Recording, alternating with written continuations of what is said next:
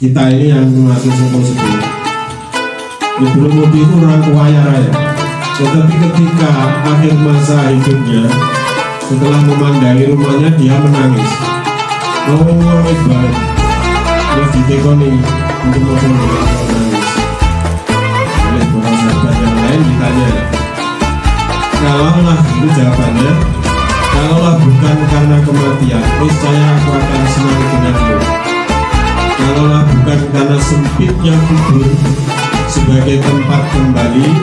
Niscaya kita semata-mata kita akan merasa teguh memandangi dunia. Jadi ya rumah yang bagus itu semua. Tapi ketika dia menjelang akhir detik kematian dia menangis terseduh-seduh dengan tak tanggung tapi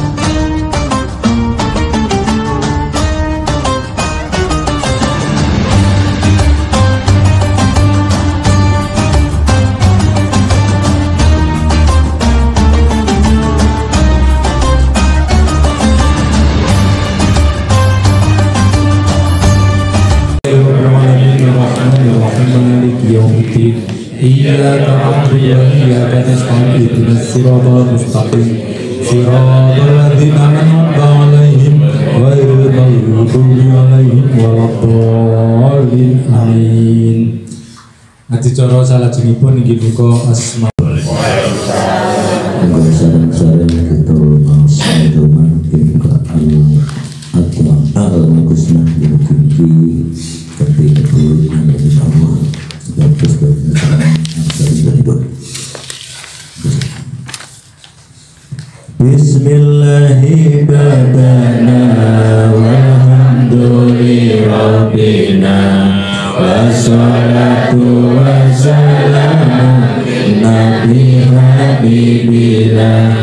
Ya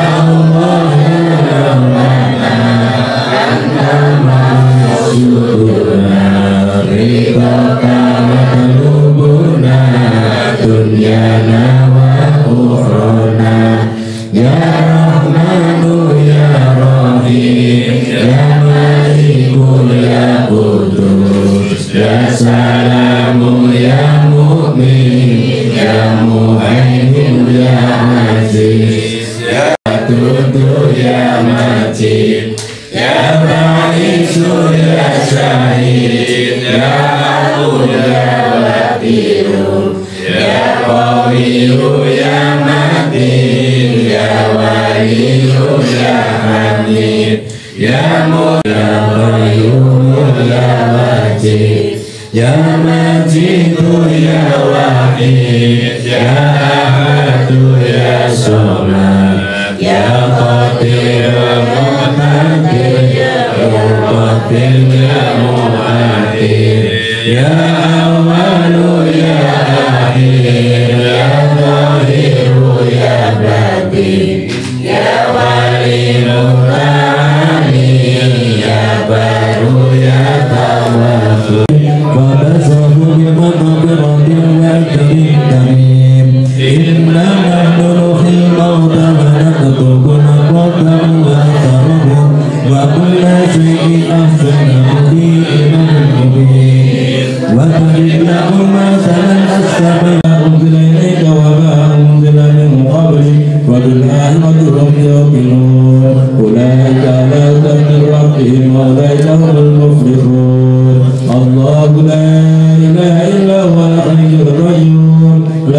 Allah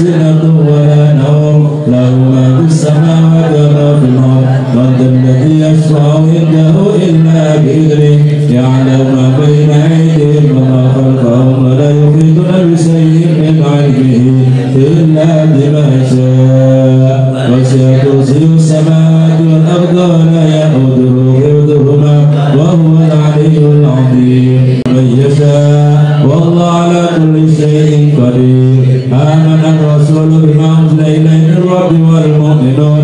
كل آمن بالله وملائكته وكتبه ورسله. لا نفرق بين أحد من رسله. وقالوا سمعنا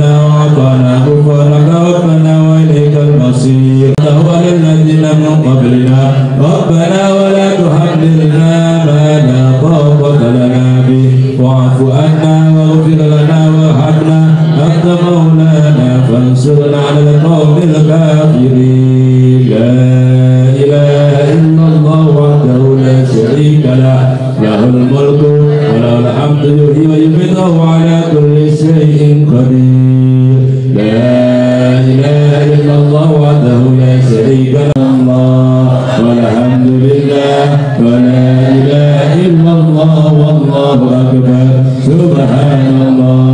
الله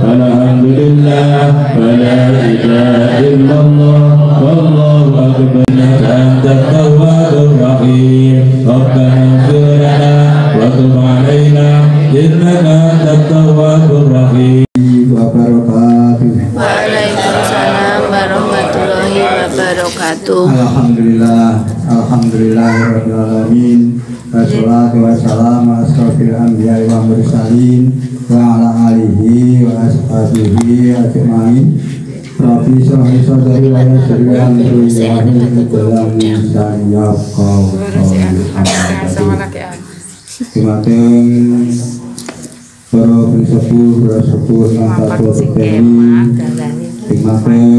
bapak-bapak haji, ibu harga Ingkang kinurmatan Dimakan ngasih haji Sedaya ingkang kula hormati Bapak nyuwun pangapunten kula sumapun monggo ngatur asa panjenengan sami ngaprak ini dawuh piniji kula sebagai kagungan griya ing dalem menika sepindah ngaturaken gunging panuwun dumateng panjenengan sami sepindah ngaturaken sugeng rawuh sugeng pinara lenggah matur suka matikaning menggalih Allah amin Pasal itu panjenengan sami ngompa wonten mriki tak perlu menika netepi wajib menika beda. haji tahun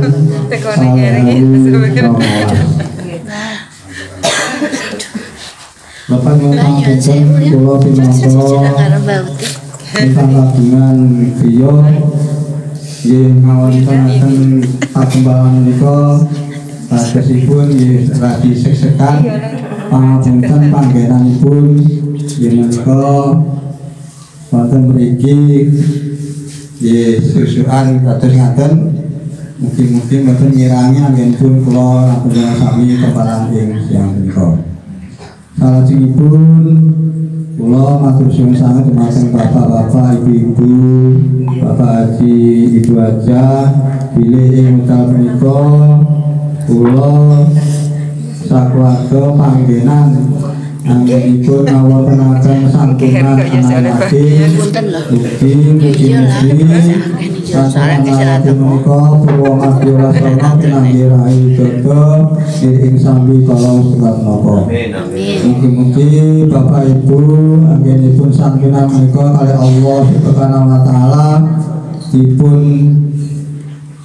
paringi maunah dumateng panjenengan lan kula sedayanipun. Mugi anggenipun ngaturi panjenengan sami saking panampi palenggahan mugi ing samodayanipun kirang mugi krono ing penggali panjenengan sami kula sedaya ibu nyadong duka nyuwun pangapunten ingkang sangat-sangatipun mekaten ingkang saged kula aturaken kirang langkung iku nyuwun pangapunten sekitarnya Dari panjang lebih baik ngapun. Wasana sekarang Allah amin Mengatakan bila. Wassalamualaikum warahmatullahi wabarakatuh. Matur nuwun dumateng Bapak Suwardi. Adicara salajengipun inggih menika eh, sambutan saking ketua dilajengaken musyawarah mungkin santunan dan lain-lain dumateng Bapak Alim kaulaken sumangga.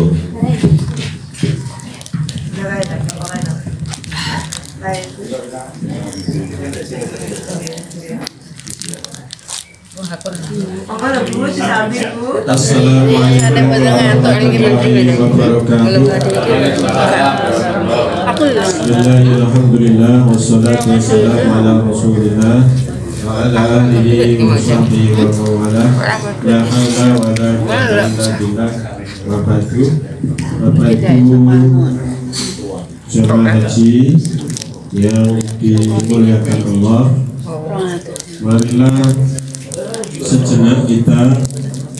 bersyukur kepada Allah atas limpahan rahmat, taufik serta hidayah yang diberikan Allah kepada kita sehingga pada saat ini kita bisa menghadiri acara rutin kita yaitu pertemuan haji yang diselenggarakan setiap selapan Sepindah yaitu pas Ahad Kliwon oleh karena itu kehadiran ini semoga menjadikan kita semakin bahagia di dalam kehidupan kita. Untuk menjadi bahagia maka kita harus mudah tersenyum dan mudah memaafkan orang lain jika orang lain melakukan sebuah kesalahan dan kita untuk bisa jadi bahagia sebagaimana apa yang disampaikan oleh jahit ya. Jahit Ibnu Mufti Niku dikisahkan di dalam kitab Al-Bahr Arsik. Ibnu Mufti niku. Tiba-tiba Ibnu Mufti niku terkesima memandangi rumahnya. Rumahnya kan memang megah orang kaya. Setelah dipandanginya, dia Monggo lah, kacang dong, monggo. Nggih, monggo. Bon. Nggih. Ketika Ibnu Mukti itu memandangi rumahnya yang megah dan sangat megah rumahnya, tiba-tiba dia menangis. Lalu berkata, "Demi Allah, kalaulah bukan karena kematian, niscaya aku akan senang denganmu." Kita ini yang masuk sepuh-sepuh. Ibnu Muti itu orang kaya raya Tetapi ketika akhir masa hidupnya Setelah memandangi rumahnya dia menangis. Nangis banget. Terus ditekoni Itu maupun dengan kok nangis Kali para sahabat yang lain ditanya Kalaulah itu jawabannya Kalaulah bukan karena kematian Niscaya aku akan senang denganmu Kalaulah bukan karena sempitnya kubur sebagai tempat kembali, niscaya kita semata-mata kita akan terasa teduh memandangi dunia. Jadi dia sewenang pak, nek gedung rumah yang bagus itu sewenang. Tapi ketika dia menjelang akhir detik kematian, dia menangis terseduh-seduh. Ternyata gak kanggo, aku sih mau masih jauh hati tok dulu. Kemudian ternyata rumah yang kita bangun bagus itu ternyata hanya untuk berteduh sejenak. Maka ketika orang sudah merasakan seperti itu, maka apa pun yang terjadi dia akan merasakan bahagia. Lah ya wis penting pokoke kabeh iki engko iso mempersiapkan diri kita untuk menuju kehadirat Allah Subhanahu wa taala. Kemudian Abu Hurairah itu di hari menjelang kematian detik-detik kepulangan ke hadirat Allah beliau itu menangis. Ketika ditanya kenapa engkau menangis? Beliau menjawab demi Allah aku tidak sedih meninggalkan dunia dan bukan pula berat hati meninggalkan kalian. Akan tetapi air mata ini mengalir karena aku tidak tahu surga atau neraka yang akan menjadi tempat tinggalku